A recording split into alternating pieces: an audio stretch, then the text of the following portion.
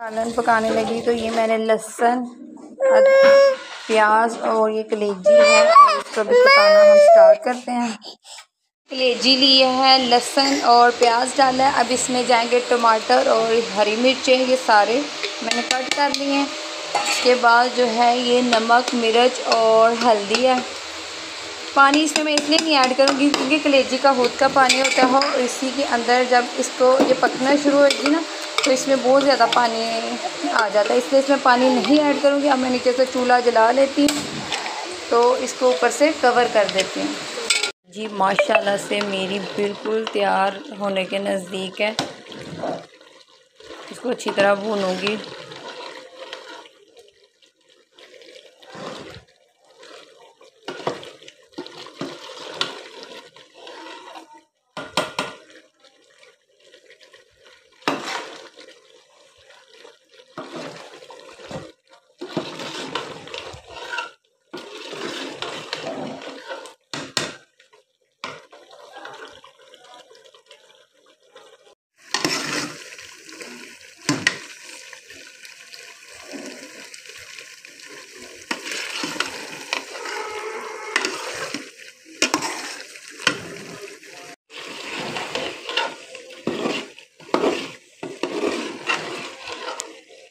माशाल्लाह, देखिए जी, मेरी कलेजी बिल्कुल तैयार हो चुकी है और देखने में भी माशाल्लाह बहुत ही यमी नज़र आ रही है और इन खाने में भी ऐसे बहुत मज़े की होगी।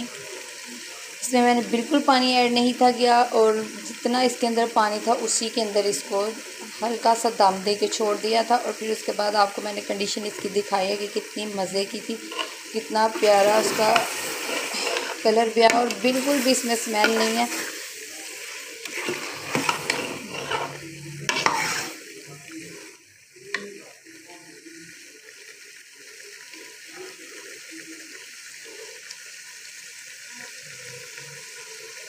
कुर्बानी हमने, माशाल्लाह से तकरीबन नौ बजे तकरीबन कर ली थी और सुबह सुबह कर लिया वो नमाज़ पढ़ के हैं और साथ ही कुर्बानी मतलब कर ली थी।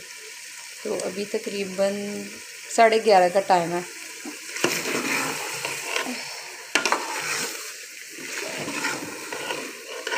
क्योंकि गर्मी भी बहुत ज़्यादा हो जाती है तो इसलिए जल्दी कर ली थी हम लोगों ने कुर्बानी।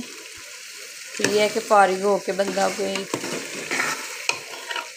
मिलता जुलता है फ्रेंड के साथ, दोस्तों के साथ मेहमान आते हैं तो फिर बंदा किसी के पास बैठ जाता है तो इसलिए जल्दी से जल्दी से इस काम से फारिग हो जाते हैं। वैसे तो अभी तो बहुत ज़्यादा काम है, अभी कलेजी पक रही है, फिर अभी जो गोश्त है वो भी बांटना है, वो उसके हिस्से करना है, तकसीम करना है सबको भी काम बहुत ज़्यादा है, फिर उसको साफ़ करना है, फिर इसको फ्रिज में रखना है तो बड़ी ईद पे तो बहुत ही ज़्यादा काम होता है ना। ये गरम मसाला। मैं ऐड कर दिया है धनिया। ये तो फाइनली जी मेरी कलेजी बिल्कुल रेडी हो गया और भाई अभी गया रोटियाँ लेने। और वो आ जाता है तो फिर हतम दिलाते हैं।